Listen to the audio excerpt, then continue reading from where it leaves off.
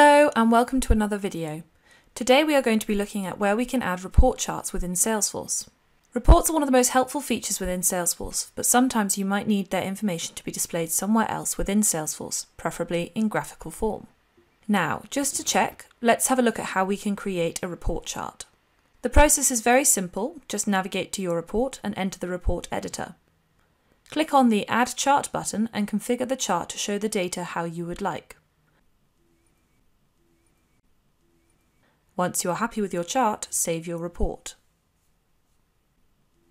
The first place we are going to look at adding report charts is actually a bit of an obvious one, dashboards. Did you know that you can use your report charts on your dashboards?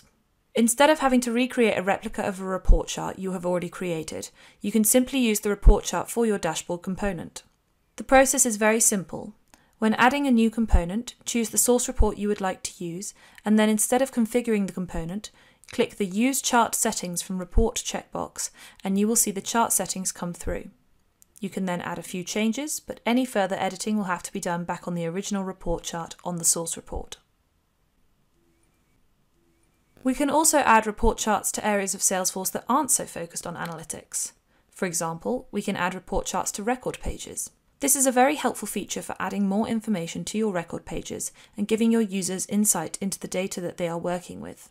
You can also use the report charts to insight information about the related records that are linked. To add the report charts, just edit the Lightning page you would like to add the report chart to and add the report chart component. You can then define the source report you would like to use the chart from and can also add filters to only show information from that report that is relevant to that record. We can also add report charts to our home page. Just follow the same steps as if you were adding the report chart to the record page, but on the home page. Finally, we can also add charts to list views. Now these are a little different as they are not report charts, but the feature to add a chart is still there. Just navigate to the list view you would like to add the chart to and click the chart icon. You can then configure the chart and users can toggle the chart depending on their preference.